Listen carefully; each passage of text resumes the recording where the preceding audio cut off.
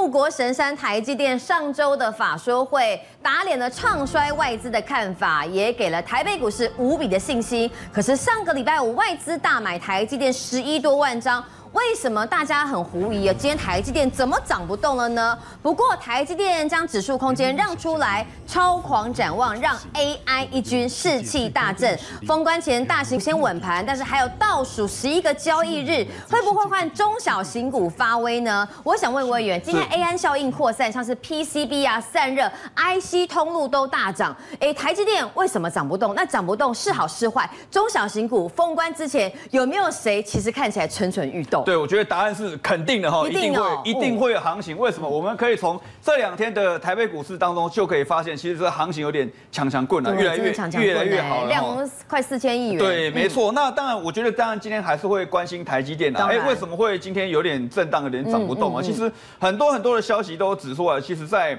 呃礼拜五短线上面，因为涨太多了，哦，所以呢先先将空间把它让出来，哦，那把资金做一个扩散的一个效应。那当然我们来看一下。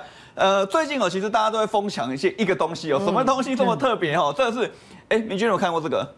台积电的乖乖。台积电的乖乖。它有很多个乖乖啊，跟和乖乖联名多非常多次。哦，对，没错，这个是绿色版的，对，最新版叫绿色金顺乖乖。哦，这个其实在一月十八号开始在各个厂区开卖吼，然后呢还有限购啊，嗯，哦，最多十二包两百八十八块，然后呢网络上的一个标价最高涨到一包。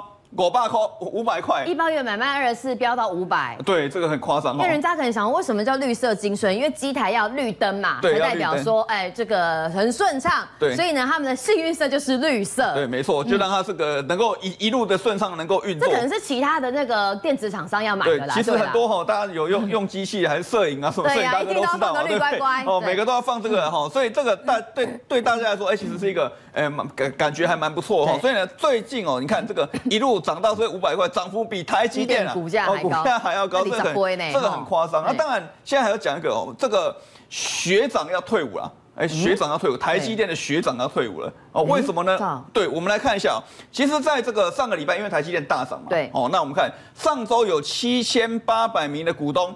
见好就收，选择把它卖掉。我跟各位讲，你会后悔，对不对？真的，你会后悔的。对，后悔，真的。学长哦，要赶快又要变学弟，再赶快买回来。对，我跟大家讲，因为尤其是一张以下的这个散户出手最多，占比多少？九十四 percent 哦。然后呢，零股的股东少了四千七百三十四人，那人数其实都已经降到这个七十三万余人。那但是呢？千张大户，哎，这个吼独具慧眼啊，对，买了多少？大概是增增加了三人，千张大户可以买台积电一千张哦，有三有三个这个神秘大咖哦，来到了一千五百五十个人，所以我们可以看到说，筹码是一个很明显的换手了，对对，这个就是也就是说，为什么礼拜五大涨时候那。今天开始震荡，可是我觉得可能震荡过后，后面应该还是有机会再持续的一个往上攻哦。就是说有一些六百多块的人解套，上礼拜先走了。对啊，就筹码洗干净了嘛。对对啊，筹码洗干净之后呢，那当然有利于后面再往上攻。那你看像这个哦，这个 六百 T 的学长哦下车了，终于领到退伍令哦，等很久了，等两年多哎，不想等退伍了，他不想等六八八，也不想等七百哈。我跟各位讲，真的会后悔哈。后面我觉得来机会还是蛮高的。但这个人续报，哎，这个这个他没差了他。反正就很有钱哦，他没差了，对他从六百块哦疯狂 all in 啊，买完就跌到五百一，这九妹嘛，对，然后赔了好几百万。那最后呢，一次啊都没有卖，他是奉行严董的这个这句话哈，一张不卖，奇迹自来，对，脱离超级韭菜要赚一台小牛啊，有没有机会？这个看起来似乎是有这样的机会，不过对他来说那都不重要，对，对我们股民关心的是到底。手上的股票，那以及台积电，这是伟创的后市，这个大家所所关心。从上个礼拜五的美股来做观察哦，什么超维、辉达创新高，那台积电 ADR 就按兵不动了啦。那魏员刚才讲，因为很多六百 T 以上的学长已经这个哈退伍了，退伍了，可是大户却逆势进来，尤其外资哈一次买十一万张，不可能做短线。对，那我们怎么看它今天压抑的表现呢？而且今天的一个下午哦，其实在会有一个新的交易交易的商品出现，叫做台积电的期货，说在夜盘。哦开始做交易，因为夜盘一般来说就是台子企业，可是现在多了这个台积电的对期货夜盘哦，所以有什么好处？跟国际跟国际更接轨，而且呢，法人交易的会更热络，甚至一些所谓操作甚至避险哦，它都可以做操作。所以呢，在各位看到节目的当下，其实已经在这个进行当中了哈。所以法人圈认为什么？有助于台股啊国际化，而且呢，交易会更加的活络。就说过去只能看台积电 ADR，根本没有夜盘交易可以做台积电个股，其实现在可以。对，现在因为之之前前几年大家都会猜啊，台积电今天会涨到哪里？因为看 ADR 嘛，那这个就能够直接反映出那个价格。所以我觉得对于行情的操作来说，应该会更有这个这个把握。所以我们看台积电今天最高攻到这个六百三十三元，那收了一个小黑 K 啊，可是原则上还是收在平盘，今天收六二六。对，所以收在平盘，我觉得它现在是一个量缩，嗯，反而是好事啊，因为我还怕它今今天如果再爆量的话，那就不好。嗯，反而今天呈现量缩整理的情况之下呢，我觉得震荡整理之下，后面应该还有机会再往上。缺口不破都安全。对，应该都安全。我觉得台积电就是护国神山，都会有机会。好，那今天它没涨呢，反而让很多台积电的这个哈 AI 扩散效应开始动了起来，也有不少是很久没动的，今天突然哦飙出了一根，那就不知道说到底要不要追。我以为我们看一下几个题材，今天盘面上面强的有哪些？对，因为这次的行情跟过往不太一样，大家过去想要说，哎，台积电涨就是垃圾盘，对啊，其他股票都不会涨。可是这次不一样哦，台积电在动，伟创涨了两根啊，广达也在涨，所以它也带动整个其他的相关的扩散效应，包含像封测、PCB 散热跟 IC 通。那我们简单来看一下这些相关的一些逻辑是什么哈？比如说像 PCB 的一个部分的话，比如说像今天这个台光电、台药这股价，对，金相电股价都在涨。那主要什么？Intel 推所谓的 AI PC 啊，我想这个大家都很清楚。那重点在说，从伺服器、资料中心等等的运用，那一定会用到什么 PCB 嘛？PCB 是电子工业之母啊，所以一定会用到 PCB，它也是一个重点的一个主角。那另外像这个散热部分。散热部分的话就不得不提啊，我们看到桌上大家都看到美超美超伟礼拜五涨了三十六 percent，哇，这个吓死人了，对不对？哦，这个大家以以以为是这个电脑坏掉，哦，看错，对不对？可是呢，上个礼拜确实啊，暴涨了百分之三十六。重点什么？美超伟有特别提到个东西，散热，而且是水冷散热。哦，他们的很多客户对于水冷散热。重点在这边，感兴趣，越来越感兴趣哦。根据美超伟的观察哈，如果说哎，我委员讲的，大家可能还听听啊。可是美超伟讲的，你一定要信啊。对，美超伟讲的，云端市场最多有百分之二十采用水冷散热的技术，所以这个地方也会是一个重点。那最后呢，IC 通路的部分的话，我们就来留意一下，像。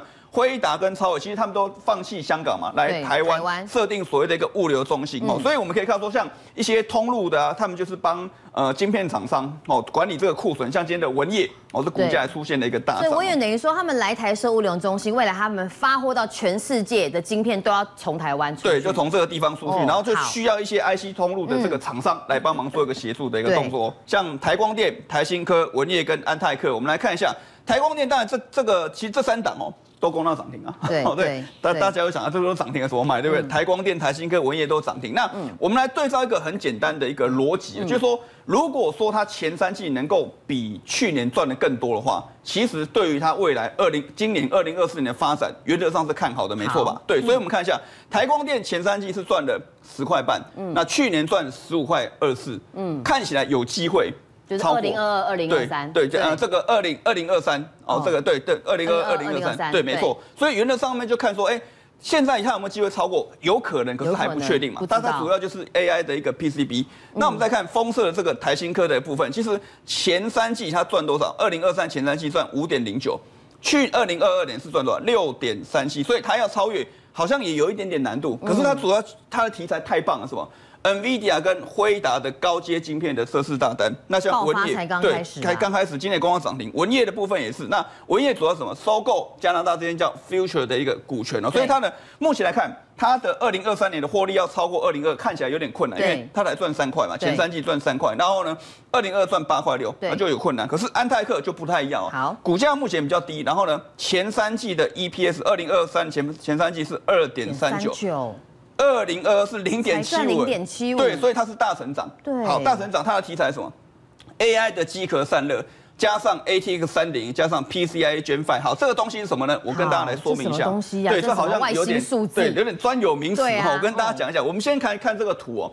这个图就是 ATX 三点零，这个是最新的呃大电压的电流呃电源供应器。也就是说，现在 AI 的伺服器。他们都必须用到大电压、大电流的电源供应器。那这个安泰克它就有做，它最新的规格叫做 ATX 三点零。那另外呢，从这个所谓的传输线路的一个部分呢，这个线材叫做 PCIe Gen 5，就五点零是最新。那这个五点零厉害在哪里？它是符合 Intel 的规格。嗯，Intel 的规格什么？第十二代哦，Intel 的 Core Core 的一个 CPU，它就必须用到这个 PCIe 五点零。对，五点零的学生必要的哦，它是一定要用。所以等于是强迫大家做一个什么升级的动作。那我们再看这个表格，其实这个图表简单来说就是说，这个是第四代的。第五代它传输的速度很明显，快，对，是越上一代倍增，对，越来越快。而且呢，安泰克有做什么？这个地方是水冷式的散热，刚刚梅超维不是就有讲吗？水冷式散热渗透率两成，对，没错，那就是它有也有这样的产品，所以它有电源供应器，也有散热，也有这个 PCIe Gen 5。那我们再看，我们再看，呃，整个散热股票当然不是说安泰克嘛，我们就对照一下龙头股。双红、旗红这两档，今今天其实也是涨停，对，这逼近涨停板嘛。那那我们看一下股价，当然都相对贵了，三百八十六跟三百八。那我们再从毛利率上面去对，毛利率的话是二十三、二十跟三十哦。安泰科的毛利率是最高，所以目前来看，它明显是被低估。获利能力最对，获利能力，而且对，而且是被低估。那我们看一下。它的一个这个周 K 线，嗯，好，它前面有先涨过一波，对，那一波好，对，好很强哦，每天每天不要不要不要每天涨停，哦，对，被关之后就下来嘛，哦，被关下来就是受受到一些这个管制嘛，管制完之后，我们看到周 K 线在上个礼拜拉出了一根红棒，对，它有一个重点什么？这个把前面一根黑 K 棒吞噬了，所以代表说其实它的一个呃形态已经从空方。扭转为多方的一个形态，开始转强哦。这个周 K 的对，这个是安泰克的一个周 K，已经开始转强。虽然虽然它涨过一波，可是已经经过了一个什么修正？也一个多月的。对，那我们最后再看日 K 的部分，有一个重点，这一条蓝色线是月均线。嗯，好，它今天有一个象征性，虽然它有一点上影线啊，对，可是那短线上面应该是一些当中的一些这个这个操作。可是我们看它今天是跳过了什么？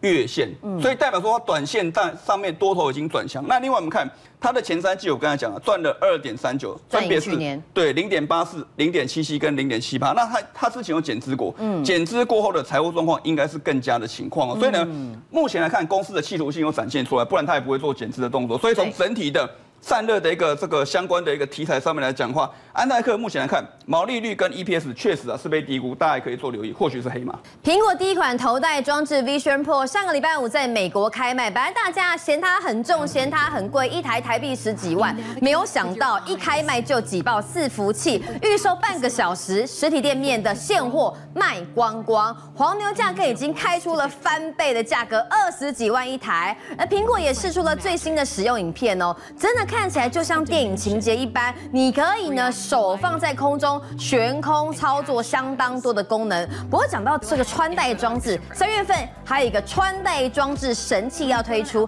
那就是 AI Pin 概念股。之前涨过一段，但这次不再是雷声大雨点小，谁可以受惠呢？我们先问加分呢，这个 Vision Pro 终于开卖了。对，之后呢，本来大家想说这么贵十几万，有谁要买啊？殊不知闲货才是买货人，卖到爆，现在买不到了。好，你看吧，真的买不到啦！好，现在市场上没货了，因为一秒售罄啊！哎，刚开始的时候不是还说吗？这个最懂苹果的分析师郭明奇说不可能秒杀啦！哦，而且数量呢绝对不会比预估的还要来得好。结果你看卖出来之后打脸了，而且呢售罄啊，价格黄牛价还给人家翻倍。那我们来看一下了哈，这一支 Apple 的 Vision Pro，它的二五六 G 呢就已经台币十一万，哎，硬板扣呢，不是小钱呢。再来哦，如果你要容量加大的话呢，十一点六万，最贵一 T。B 十二点三万，我跟你讲，这都是小钱呐。为什么？因为现在卖的比这个还要贵啊，而且容量还比较小，你知道吗？现在目前的拍卖网站黄牛价格，你看这是什么？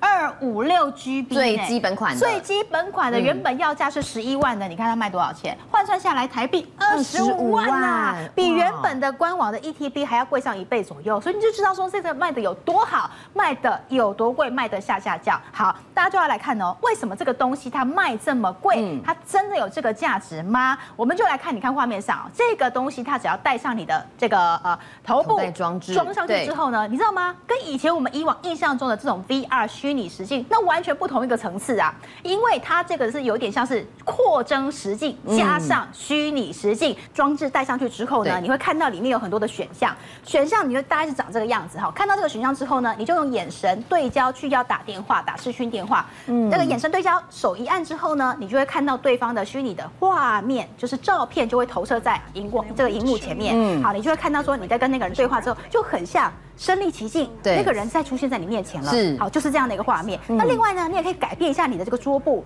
你也可以呢，把你现在看出去的景象，原本是你家，对，然后上面有一些桌饰，有一些 app 显示在空中，你也可以把后面的装置改成像有这种。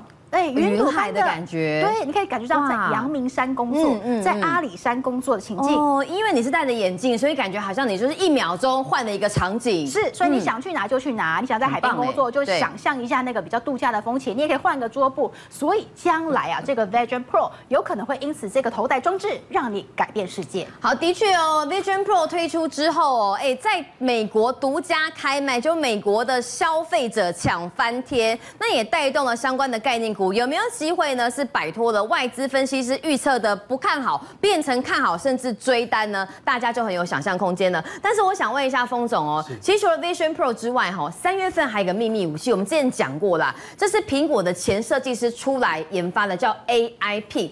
AI Pin 大家常听到，可是不知道说它到底是有什么样的功能。它很小，而且它可以搭配手机使用。你觉得会不会卖爆？这一次哦，不太一样哦。嗯，你看这个字非常有趣哦，这个。Humane 这个这个字哦，是人道的哦，人道仁慈的，嗯，哦，仁慈的对待，好像是在讽刺说你戴那个头盔吼，好笨重，很不人道，那这闷在 闷在头里面，对不对？但功能不太一样，不过呢，它可以使体让大家体现真正生活上的 AI，你 AI 不再只是说。哎呀，什么伺服器好像跟你很遥远的，或者说你在电脑上面打一个什么 Chat GPT，哦，只是说感觉到只是不是很生活化，对吧？所以峰总，你觉得戴那个眼镜也不是很生活化？我我不会戴一个头盔走出去吧？不可能，我娱乐训练会比较小。对，那个娱乐训练很有用，你戴个眼镜都有一点点的不方便了哦。这个东西就像一个，它这叫 AI Pin，就是女生的别针一样，就三十四克，非常的轻。好，而且呢，你看哦，这个是他当时在介绍的时候画面，这个还可以投影到他的手上，就是他不需要荧幕。好，那其实大家有兴趣，你可以去这个 Human 这个官网里面去点哦，它有很多实际上的运用给你看，非常有趣哦。比如说，他人哦，这个在走的时，就是在他可以有这个呃，就可以打到手上，你就可以看到说你的这个之前的这个呃讯号啊或回购。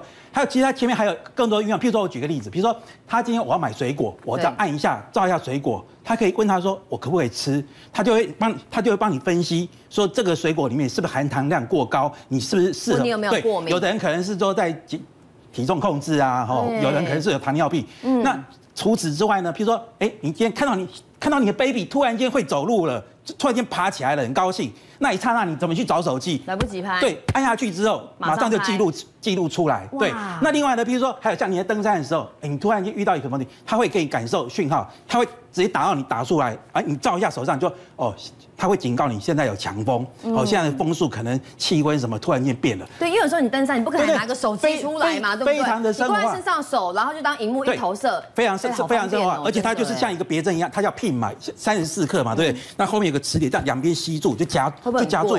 哎，大概这个这把呃六百九十九美金，哦，大概两万块，对对对，两万块块。那因为刚开始嘛，所以说，嗯，我告诉各位哈，这个哈，因为它是苹果之前的工程师跟软体公司出来的，对。你看，连那个 Chat GPT 的那个那个，对吧？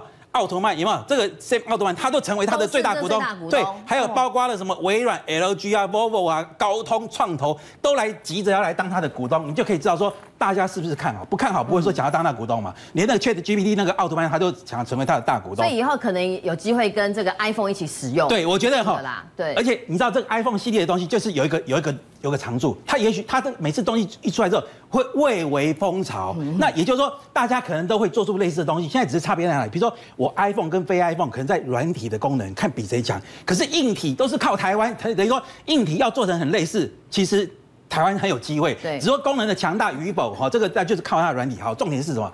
你看今天已经盘面上已经有出来了，大家可能对，大家都没有感觉对啊。你看今天阳明光已经偷偷的涨了四点九五趴哦，哈。那这个玉阳明阳明光是做微投影的，对。其实这个这个这个这个所谓的 AI P，它有最重要有有三大功能，哪三大功能？第一个我要投影，对不对？我要那个投影，对，那这最这是最最最明显差别，没有荧幕嘛，对不对？第二个。我要能够辨识东西，我的这个镜头，我不是照一个东西进来而已哦。比如说我我照了照了水果，我怎么知道它能不能吃？我要马上把它扫描出来，快速边缘运算。嗯，这个就必须要做到什么？AI 三 D 感测跟这个所谓的一个快速的边缘运算，嗯，那再来呢，就是说，哎，我还要变，我要声音来对声音跟对话，所以那个声音要很要很精确。好，这个所谓的一个声学麦克风，但把它这把这些东西全部把它封装起来，就必须要做什么？微机电的这个封装。所以你看，这四档股票今天都有在动。对啊，而且都是下半场对，阳明光涨了四点九八，而且都是涨下半场的时候偷偷带拉。对，裕泰也是上来了，对，这个地方也是上来了，涨了二点八，二点多趴。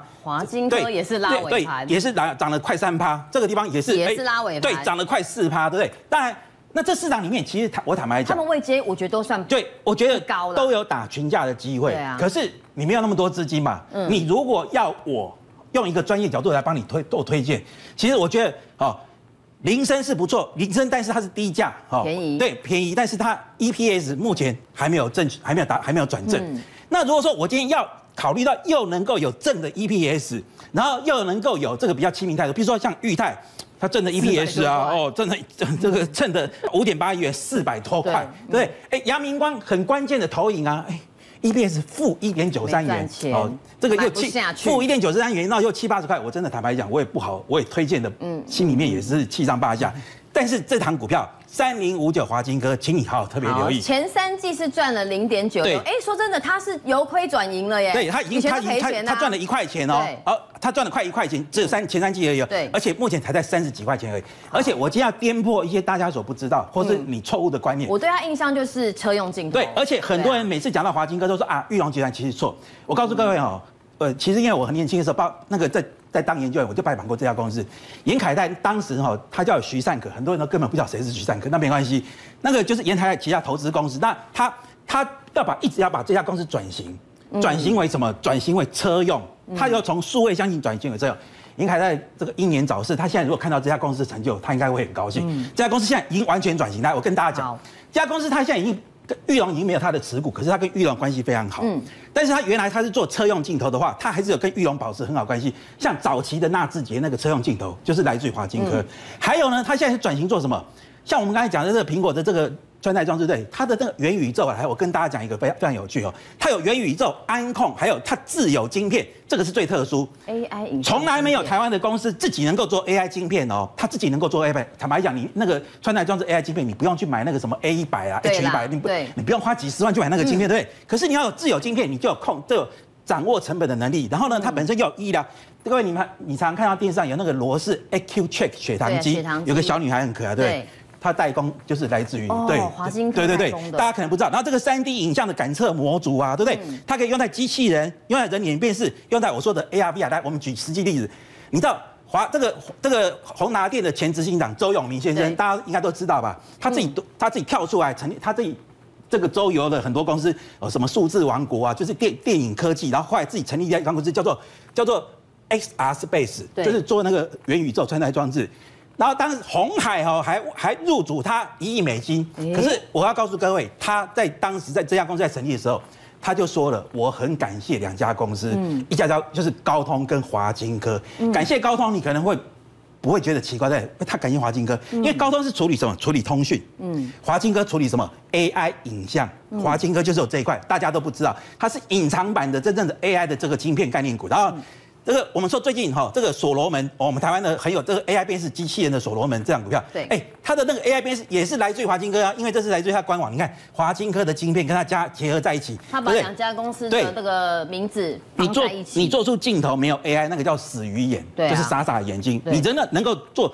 这个所谓边缘运算，那个才叫聪明的眼睛，对，才叫智慧光学。然后华金科，我刚刚所说的嘛，它有这个内抛式，像这内抛弃式内视镜头，还有像什么 AQ Check，还有一个叫做比尔盖茨，呃，不是那个呃，这个苹果的这个创办呃，创办博斯，贾博斯，他死于那个胰脏癌，胰脏癌是不会痛的哦，你发现的时候已经快来不及了。那华金科就是有。胰岛素注射人工胰脏。所以说，在这个地方哈，你可以看到这么多的题材哦，犯这个玉龙家族哈，AI 自有 AI 晶片，这个是最特殊的，对对，最自自自己本身有 AI 晶片，然后供这个所谓的 AI 视觉，像我刚刚所说的 AI Pin 啊，还包括的穿戴装置都需要它切入智慧医疗，还有这个智慧医疗是别人所没有，像人工脏抛弃式的题材那么多。来，最重要的是，我常在节目中我常呼吁大家一个观念。周均周线两百均是美国基金经理人操盘之后很爱看的多空关键线，你看到没有？从去年一月以来，哎，每次碰到这个周线两百均，然后这个教比教科书画的还整齐，每次碰到就收收上去。那这一次，哎。十一月的时候，曾经有来一波，就是告诉你什么？三月份虽然说有这个 AI 对，三月份是说啊，我有这个公司之类，可是十这个十一月的时候告诉你什么？我明年三就是今年三月要出货，就大涨一波啊！随着这个整个的 AI 伺服器的下压，又来到这个周期两百均，又来到这个位置。现在是不是整个 AI 又？一涌而上，对不对？哎，刚好有修正过，而且他确定今年三月，哎，你要你不要说三月还很久，哎，现在过年过完年二月就三月啦，对，没有多久三月啦。所以说这个题材将来其实我觉得这段时间还会持续发酵，而且它的 EPS 零点九六元的 EPS，股价才三十几块钱，所以说这一波会不会再再再现一次风潮？我认为要过的几率是非常高。政界、商界、演艺界，跨界揭秘。重案、悬案、攻击案、拍案惊奇，新闻内幕、独特观点，厘清事实，破解谜团。我是陈明君，我是李佳明，敬请锁定五七新闻网，真相不漏网。